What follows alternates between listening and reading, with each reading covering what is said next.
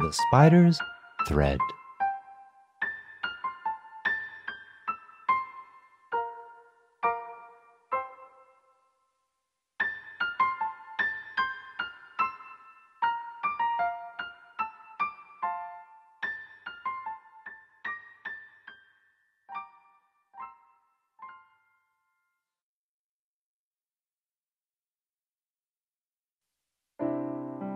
One morning, Buddha in heaven was taking a stroll alone by the lotus pond. Oh, what a pleasant morning!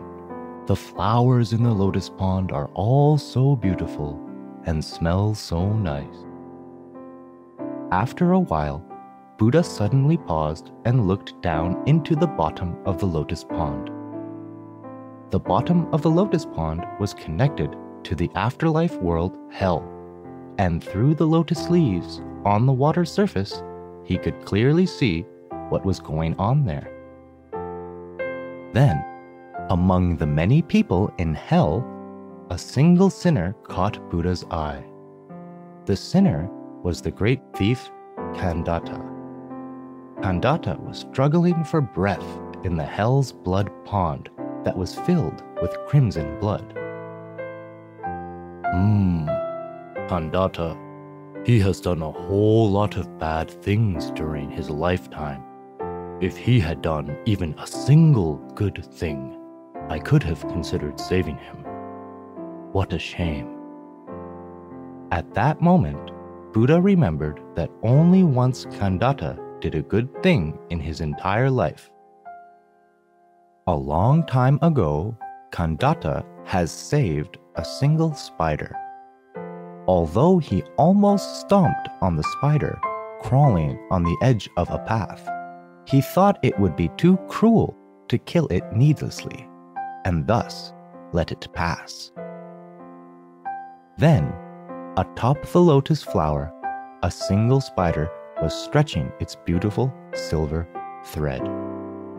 Buddha picked up the spider and let the beautiful silver thread coming out of its spinneret hang straight down to the bottom of the pond.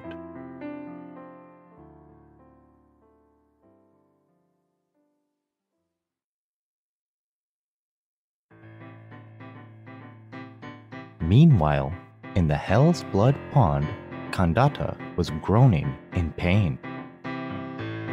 Damn it! Even a great thief like me can't do anything here. Am I meant to struggle in pain and drown like a half dead frog? Then, from above, a single shiny silver thread came hanging down. Huh? What's this thread?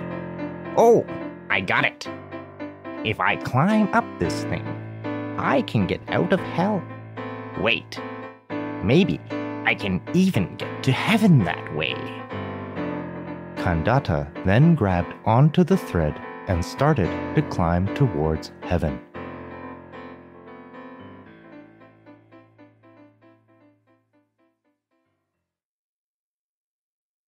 Although he kept on climbing up the thread for hours, there was a great distance between heaven and hell.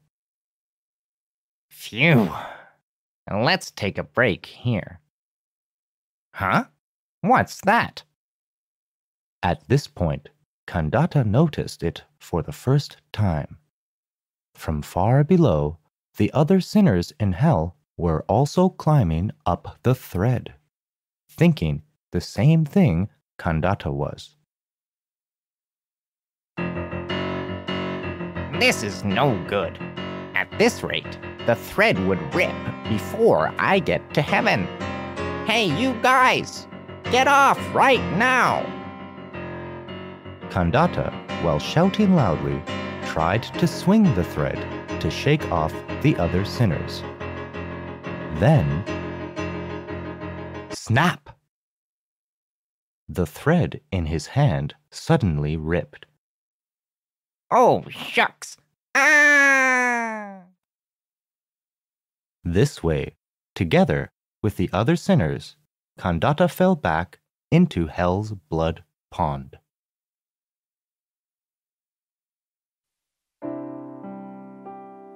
From the edge of the lotus pond in heaven, Buddha was watching every bit of what had happened down there. What a pitiful man. If he didn't think only about himself, maybe it wouldn't have been like this. After giving a small sigh, Buddha got back to his stroll. As the lotus flowers gave off their pleasant aroma, heaven was about to welcome its noon in silence.